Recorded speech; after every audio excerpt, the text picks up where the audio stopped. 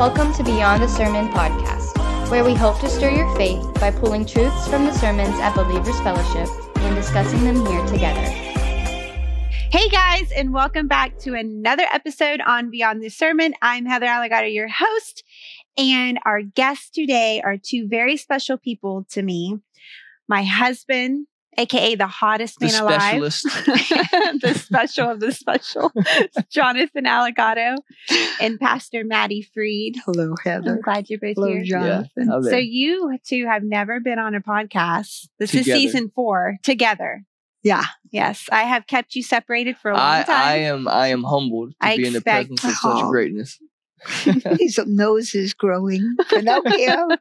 so be nice, be nice. No, I'm just Okay. kidding. No, I, I today's uh, podcast is about a sermon pastor did in 2022. It was when we were in the tent, actually, because Yeah. we're under construction. By the way, speaking of construction, we're under construction. So if you hear any weird noises, it's not us. All right. Blame the It's workers. not us. It is construction. Uh, we are moving and progressing. So, anyways, he did this sermon, Pastor Jon, back in 2022, two years ago. We were in the tent. It was called He Is, I Am. Yes.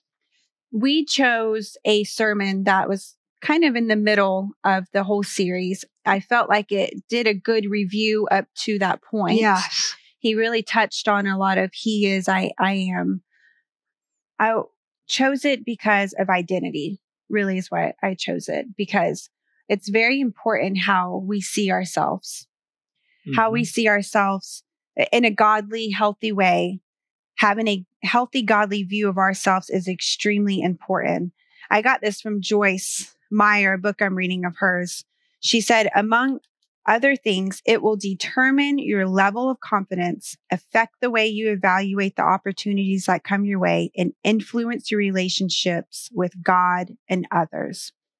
What you think of yourself isn't nearly as important.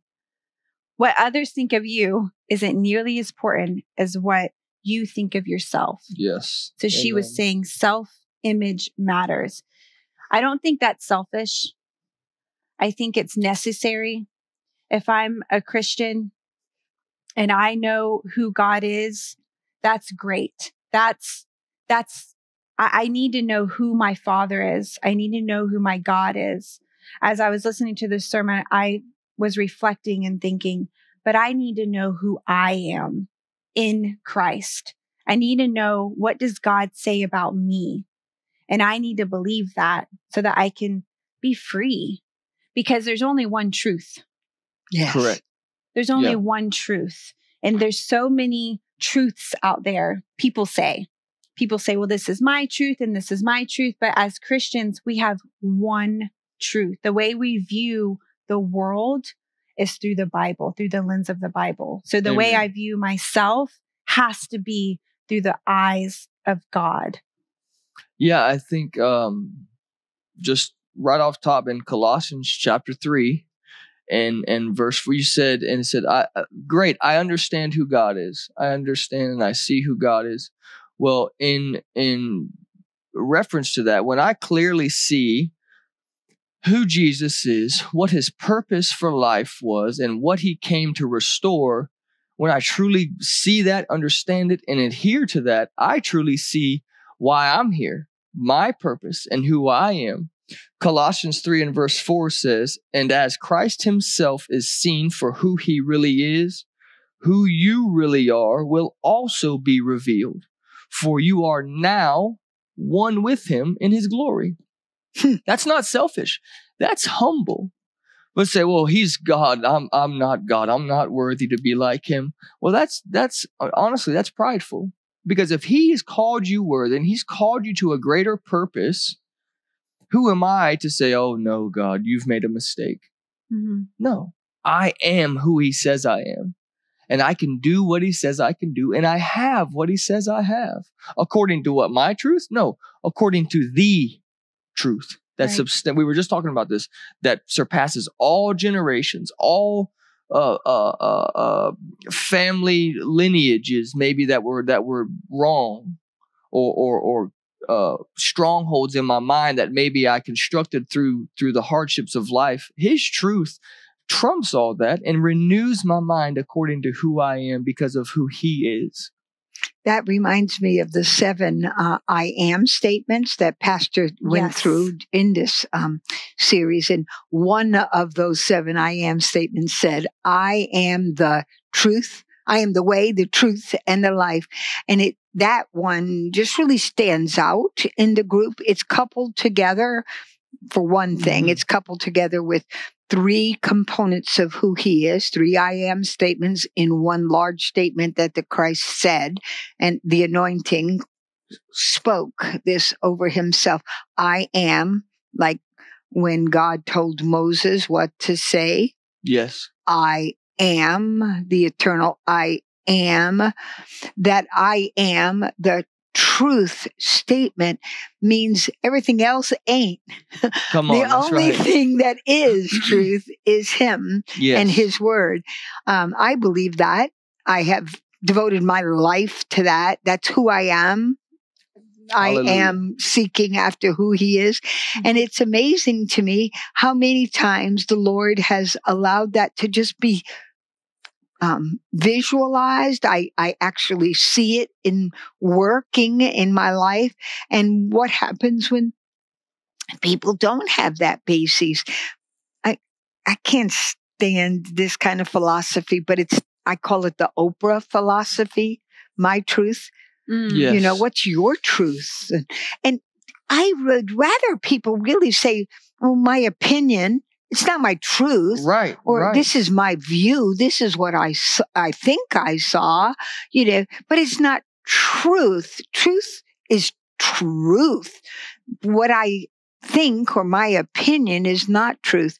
And I honestly believe that so many times we're thinking of our opinion because of what our daddy said to us when we were seven, you know, we hear that over and over in our head, whatever, and we call that truth. No, what is truth is what we should have playing over and over in our head, who God said I am. yeah. If if there's if you have a truth and I have a truth and she has a truth, well then Who's right? truth is malleable. Oh. but truth truth isn't clay. It's not Play-Doh. It's a rock. Yes. Right. Right? It's Right. a rock. The rock on which we stand. Correct. And That's I can't build I don't build my life, my house on clay. I build it on rock. It's very. I don't know how people live that way. I would that would be way? very confusing to always have a different truth. You can just change your truth, how you feel. Yeah. Oh, oh, that sounds good over there. I'm going to add that to my truth. Oh, that. Oh, yeah. I'm the stop scriptures say they're this. unstable Come in on, I was their just ways. thinking that. It is so confusing. They're swayed back yeah, and the forth. wind. The wind blows them whichever Yes. way. But the Christian, Uh huh. the Christian has their truth founded in the word of God. So when someone challenges and says, Why do you believe that? Well, I didn't got write that. Let me tell you, you know, Matthew, da da da da da. Let me show you.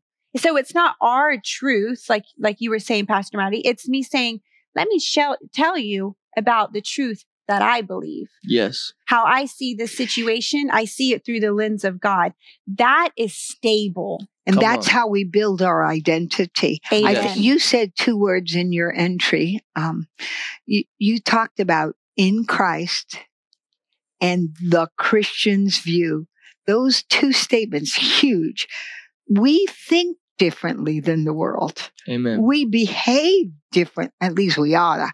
We behave differently. We think differently. We respond differently because the truth is not only before our eyes where we could have that measurement, that guard of truth, but it's also in, he has written it in our hearts. Yes. And that makes all the difference in the world to me Mm-hmm. that I have that truth inside of me. Isn't it cool when you're just talking about something and you do this really great because your eyes just get real big and happy? You know, when you hear something that sparks a scripture in your life, you just go, boing. Yeah. It's just there. Well, where is it? It's in me. It's inside of you. And the word has been written down so it can be. He has written his word in our hearts, the fleshly table of our heart, so that we can be excited every time we see the truth.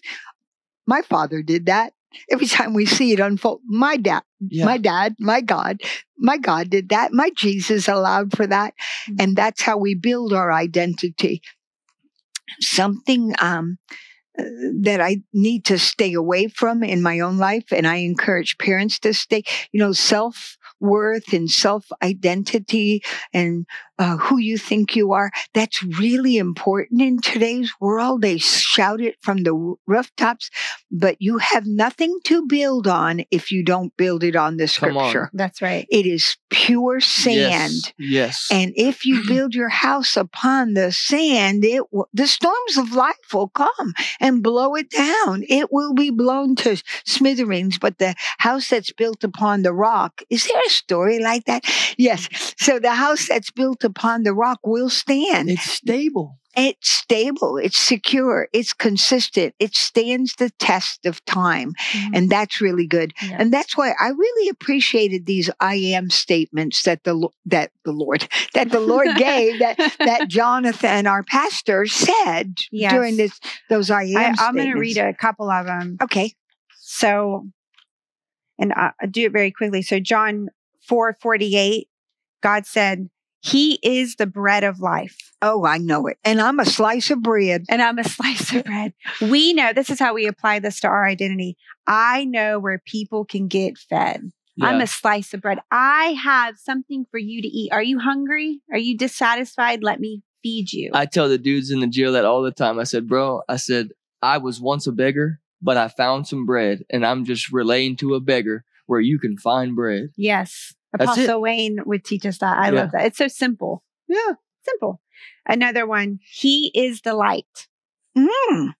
How we apply that? We are the light. Come on. We are hidden in the light. The light is in us. When we walk into a dark place, ah, Jesus is shining, shining through us. I think it's miraculous. Some people think that darkness overcomes light, but light overcomes darkness every time. Yeah, yeah. Every time. We never say, hey, it's too bright in here. Will you turn up the darkness? No. Will you turn down the light? That's Yeah. good. that, that is good. Yeah. That's Pastor, the funniest thing you've ever said. Pastor Jon would always says, now I say always, so you can challenge me, but anytime. So if you're okay. So when Pastor Jon's preaching, when he brings this up, he almost always does this. The light is not struggling like, ooh, yeah, yeah, let me overcome the um, darkness. It's just ding. Nope. Just And he's- simple. God said, Jesus said, I am the light. light. Anybody comes to me, he's not going to be in darkness anymore. Yeah, because the light of life will be in and then and then in Matthew 5 14, he says, You are the light. You took the words right out of my mouth. And so there is our identity. Come on. That's our identity. And if we're looking to the world, they'll say things like, well, honey, you don't have anything to give. You ain't no light. But Jesus said, I am the light. Jesus gave me permission to say, Yes. like he said, I'm light. You are the light of the and world. I break darknesses back. Yeah. Darkness has no power Easily. over me. Oh, it's a I just there's gotta no walk in the room. I All walk do is in the, walk in the room and room. light comes. Smack the devil around. Now, I don't always feel like I can Come do on. that, but it has nothing to do with my feelings. right. It has everything to do with what Can you he say said. that again? It has right. nothing to do with what? My feelings, how I feel about the situation. Amen. Facts don't care about my feelings. Mm-hmm. My feeling is subs- uh, subsequent, less than uh, just Subservient. about is it is subservient to what God's word already declares. That's why my mouth, and I know that you have covered a lot on the podcast about confession, but it is absolutely imperative that we speak what we know God said we are. So here's That's what he said. He said, We're the light. We have to say, We're the light. That's right. He said, I'm the light. I say, I'm the light because I say what I, I only say what I hear my father say. Yeah. I Right. only say, I only do, I only perform that which the Holy Spirit is already asking me to perform. I I like that because Is she shaking her pointing my finger? finger. You're in so trouble. sorry. in the beginning, when I was talking about self image, Uh-huh. people can take that in such a negative way. I know. A godly self image. Yes. It's not about you. To say who you are in Christ, to remind is so important. If I don't have a healthy, godly self image of myself, I cannot love people the way that I need to love them. And I cannot love myself. And I know Mhm. in a godly, healthy way, I need to love myself in a godly manner. Lord, thank you for making me how you made me. I don't, I don't despise myself. Yes. I, yeah. that is so important. So many scriptures So important. so many scriptures come to mind when talking about that, but one of them is in the parable of the uh, four plots of land. By the way, there's nowhere in the scriptures that says it's for one quarter each. I, I really sincerely doubt any farmer in their right mind would take one quarter of their seed and throw it on the bad Right. ground on purpose. Right. You Right, know, on so purpose, right. on purpose. would Some be out fell to the ignorance. wayside. yeah, The some fell, majority of it. went to the good ground. Right. Now, how we respond. One of the phrases in that parable, very striking to me, is having no root in themselves. The seed, it grew, but then having no root in themselves, it dies. What happens is when we don't have a root of who we are in Christ, that which the Holy Spirit is putting in us dies Right. and Right. it has no root. Now, how do I have a root? How do I have um, good ground? I mean, how do I make that planting? I pref- I allow the word of God to be in me and through me, so that I could say what He says. You're again, you're saying that word and you're implanting that word in there. It's so important. It's not about your self image. It's about your godly self image. It's on. about your biblically sound self image. Let image us make That's man in our image. in his image. And we are And when, nothing by ourselves. We are nothing. I love Keith Moore whenever he teaches on Uh, the you don't like of him other times, just I like him other times too. But whenever he he st- uh, makes this uh, statement, you can't even brush your teeth without the Lord. You can't even comb your hair without the Lord. He's speaking of humility. I am mm-hmm. everything we have, everything that that is in our life, all the goodness, the health, the the ev- every single thing that we have is because it came first from the Lord's hand. Pastor Yes. Wayne, no, Pastor Jon oftentimes says he's never seen a day without the goodness of God. And you thinking about that. I'm thinking about that. What do you mean? I've had some down days. God was still good to me. Yes. He is still Even good to when you me. were born a sinner. even when I was rooted in sin, even when I was doing wrong and know, knowingly His doing wrong, His mercy good. is always there. His mercy. And so people can do all those things. It's still the mercy and the goodness of God that allows them to breathe, let alone brush their teeth. I mean, it is God. Right. I I I am also impressed with the fact that when we have a self-image that's outside of God, even when it's really a good self-image and we're doing all this really good stuff, Sure. no, just that is a fleeting opportunity for us. It is not long lasting, does Mhm. it? What Mhm. is eternal is only what is written in the word, Amen. Amen. He is the door. the access point. he is the door. Pastor said, you know what that means? You're the access point. Yeah. You make access. We lead people to Jesus. Yep. Whereby we we cry, be we have been given the ministry of reconciliation, whereby we cry, be reconciled unto God. Who's gonna do that? The fivefold ministry? No. Every believer. That's right. Forget the fivefold ministry. Believers.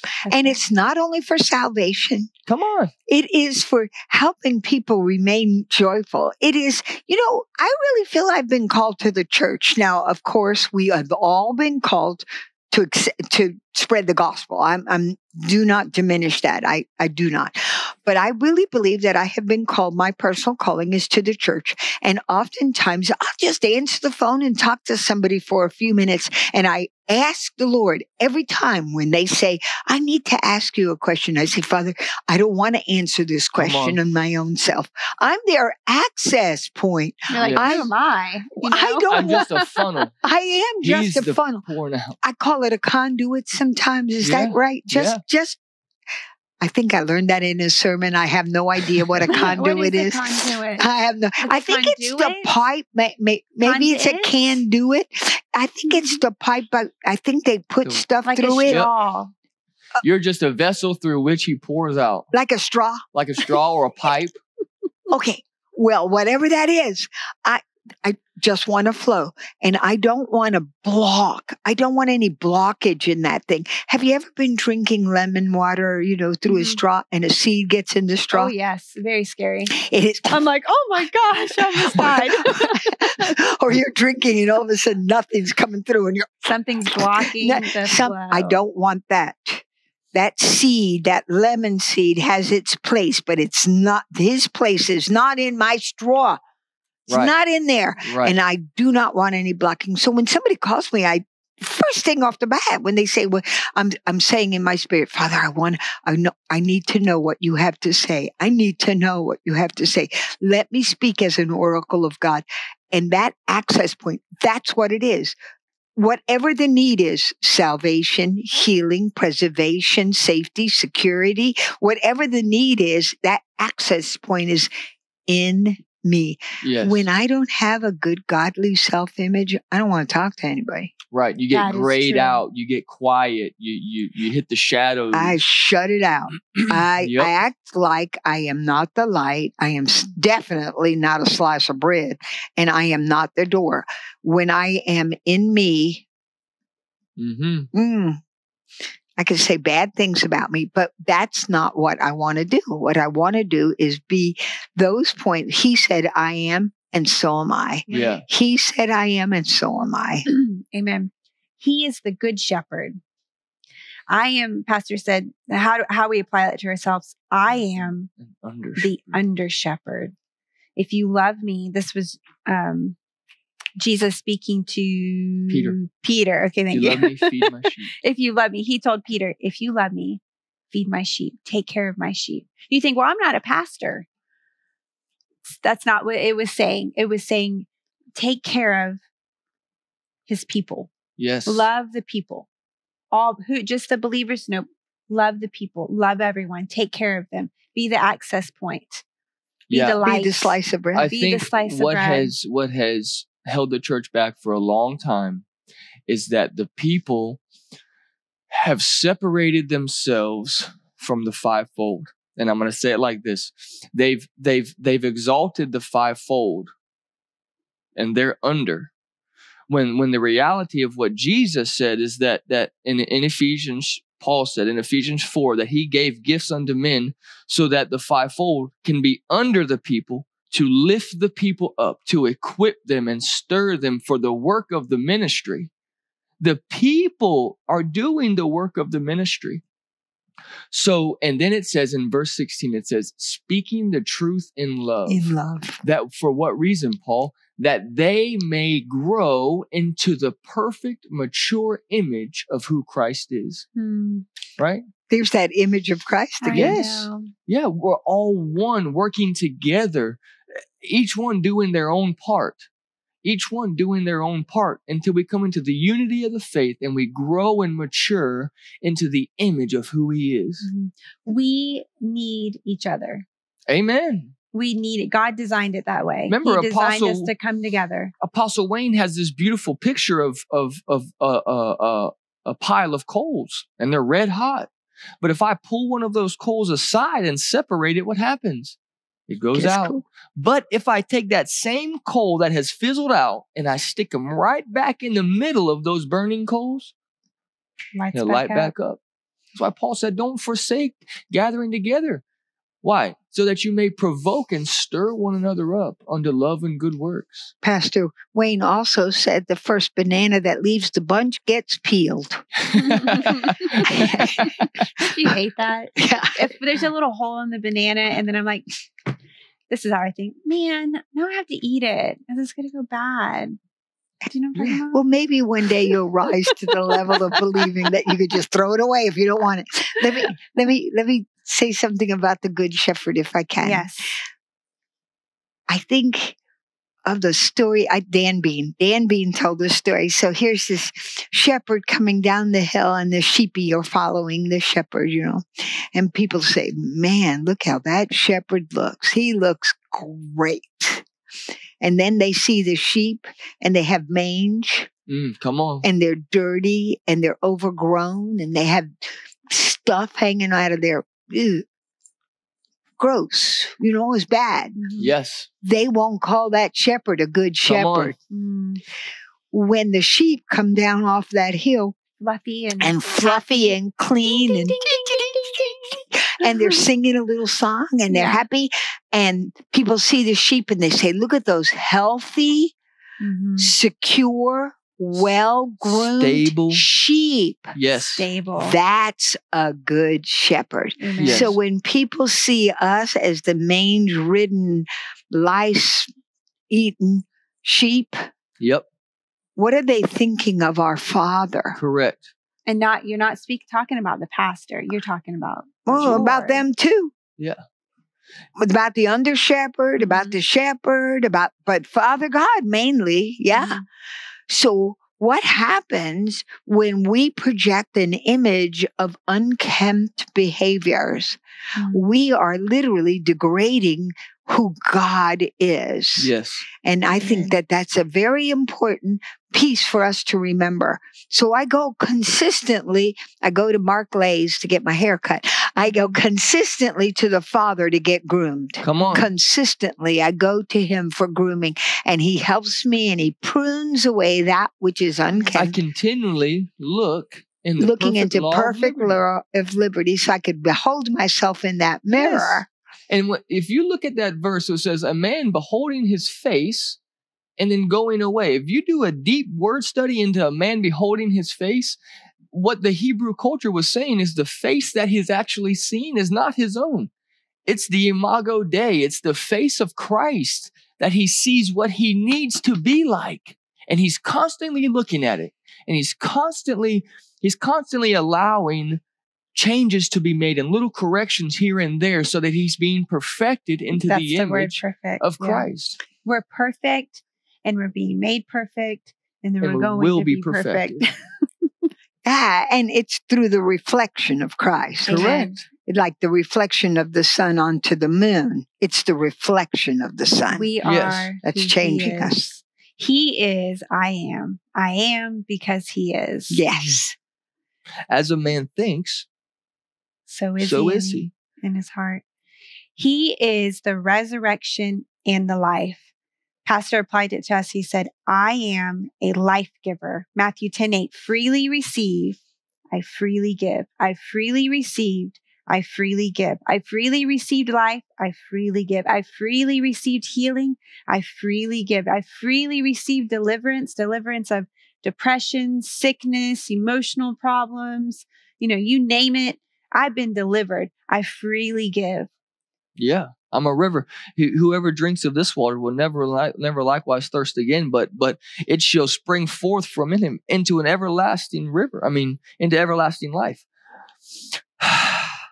There's a lot of people in the church who, and and Apostle said this earlier, who they they think these thoughts and they kind of just bow down to them instead of battling Yeah. instead of battling say er, wait a minute check it at the door. You're not coming in here because this is what's the truth this is what the truth is. I am free. I am liberated. I am righteous. I am holy. I'm a life giver. I'm well. I'm prosperous. I am a reflection of who my father is. I asked rylan last night well who do sons look like? Their daddy. That's it it's it's so simple. It, i think i think in the christian world we've made so many ease you know we've we've we've become so analytical which is simply making simple things complex Mhm. You're really good at this, Jonathan. But I live with you, so I know I know a lot about you. You're married, right? Yeah. yes, we're married. we live together. But I'll be speaking. eh, Now, this can be frustrating, blah, but I'll be talking to him about something and then he'll just, I won't say cut me off because that's rude and you're not, you're not rude about it, but he will just start speaking the word. I know. I And live I'm with like- somebody just like that. I'm like, I was in the middle of my, he's like, but I don't want to hear that. And then he just starts speaking the word and he just starts speaking what, you know, whatever it, it's relevant to. And I'm just like, "Wh- but you are really good at that, Jonathan. And so when you, s- when, if people hear you and they go, yeah, yeah, yeah. No, Jonathan does this. And you're also buttonless. You are very weird, but he is, has the ability to not let things bother him. He just like, and then you think, oh, you buttonless. I'm sorry. yeah, buttonless. He, he didn't have a button to push. Doesn't have a button to push. Now, if I really want to push it, I'm the one. I know them. I know where they're at. But No, you know where the kidding. bodies are hidden. but I that's provoking. That's not of God. I don't do that. But you you are really good at that. So freely you've been given, freely you give. yeah I, I, you know and in second corinthians 11 3 paul says I, I fear lest lest by cunning craftiness you might be deceived and beguiled by the serpent just as eve was away from the simplicity of christ I, I think a lot of Christians were looking for this this spectacular supernatural just Yeah. God's going to come down from the heavens and smack me with truth, and I won't feel depressed or discouraged or inferior anymore. But that's not the truth. In in in Ephesians, he said in Ephesians three nineteen, he says, "Understanding God's love is to be filled with all the fullness of who God is." So when I truly see how much He loves me and why He made me and my purpose on the earth, guess what I am? I'm complete, lacking nothing. Mm-hmm. Hmm. Why? Because I ha- because I have all things currently? No, because I understand and believe and submit to what he says about me. Amen. So that brings out the resurrection part of that statement. I am the resurrection and the life. Yes. you were just talking about how life is because of Christ. The resurrection part is also an important issue. Dead things made alive. Amen. He's resurrection. It's different than just being born again. This is taking stuff out of the dead and making them new and making them into life. And I, um, I am excited about that one. That's very, very personal to me because I was a Christ rejecter, which is different than somebody who didn't know Christ. I Mhm. said, no, I was going to live it on my own. And the Holy Spirit, in his gracious goodness towards me, he resurrected me out of death and made me alive. This is so important to me. Resurrection. You know what's really important? He doesn't give a, I never see in the scripture where he's said, you know, I, sorry, it, he's too dead. Right. Mm. There's never a, just too much. I can't deal with that much death. Come on. He always resurrects the dead. Hallelujah. So The the next one I we cleared. we've already talked about. He is the way, the truth, and the Yes. life. And then the last one is He is the vine. And we'll close on this one because we're out of time. I'm sorry. Oh. uh, but John 15, 1, Jesus said, I am the true vine, and my father is the vine dresser. Ending on that, we Christians, the believer, if you've accepted Jesus and made him Lord of your life, boss of your life, you live in Christ. You live in the vine. There is nothing lacking in you.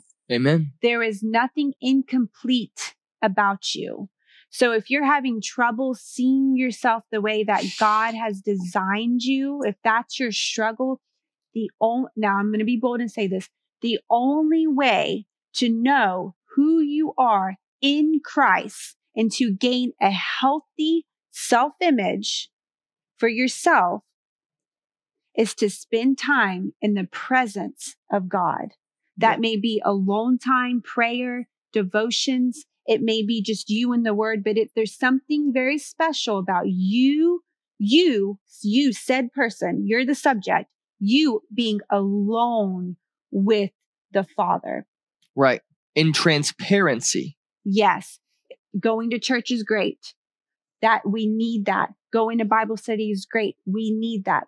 But I'm telling you from personal experience and just being around believers and helping people, there's something special about being in the presence of God mm-hmm. that ministers to you, to you specifically.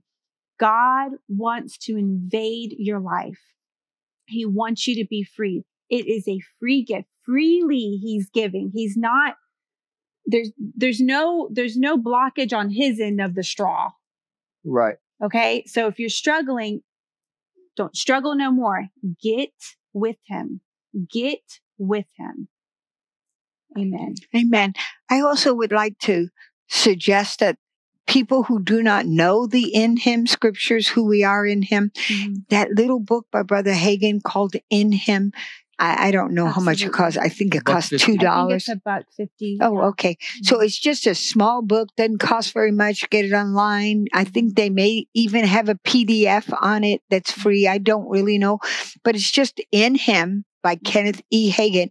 That book has helped me immensely when I needed to remind myself of who I am in Christ. He said those are statements he said about himself. And then he said, the, characteristics that I have, I gave to you because you're my kid. I gave Correct. them to you. Correct. So I'm, I'm, um, I really, I, I feel like sometimes people don't know how to search the scriptures. And that book has helped me immensely. If you're listening and you are interested in that book and him, come see me. I'll give you one for free. So we love you guys. As Pastor Jon says, stay stirred.